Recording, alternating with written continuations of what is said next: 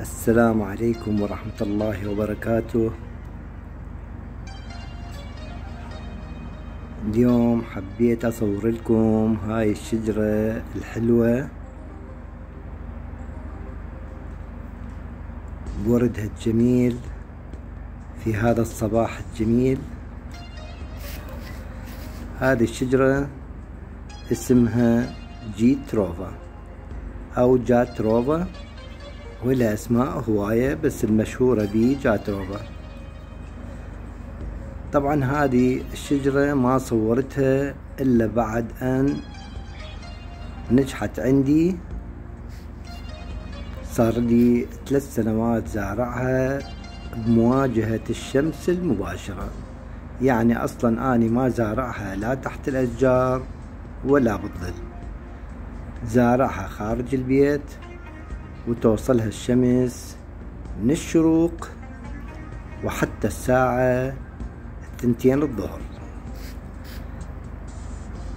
طبعا ثبت لي إنه هاي الشجرة الحلوة تتحمل الجفاف وتتحمل ارتفاع درجات الحرارة وكذلك تتحمل الإصابة بالحشرات أو احتمال ما تصيبها الحشرات لأنه النباتات اليمها انصابت بإصابات حشرية وخصوصا حشرة البق الدقيق.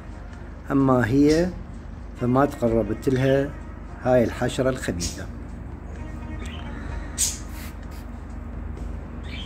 طبعا أني أسقيها بالصيف أو أسقي المنطقة كلها يوميا وهي من ضمن النباتات اللي تنسقي يوميا. بس هي تتحمل أكثر من بقية النباتات عدم السقي اليومي. التربة آه، مالتها تربة طبيعية طينية وهي تنجح بالتربة الطينية والتربة الزميجية بالأصح أنها تنجح في أي تربة. أي سماد ينفعها وخصوصا السماد العضوي بالسنة مرة بكمية قليلة جدا. طبعا طريقة تكاثرها بالأقلام في موسم الربيع أو الخريف وأحسن وقت للتكاثر وهو شهر ال 12 والواحد. تزهر طول السنة.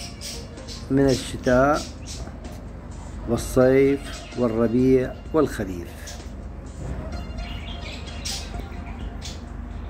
حسب ما عرفت أنه يصل ارتفاعها إلى سبعة أو عشرة متر ولكن بالإمكان تجذيبها وتقليبها وجعلها بالارتفاع اللي نرغب له أنا عندي صار لها ثلاث سنين زارعها وما خليت طولها يرتفع أكثر من مترتين ونص.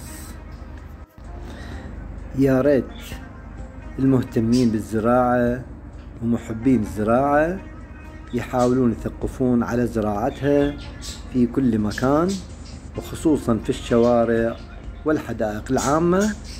كونها مزهرة طول السنة وأوراقها جميلة أيضا. وفي الختام تقبلوا تحياتي مع حبي وتقديري. أخوكم خالد الخياط. مع السلامة.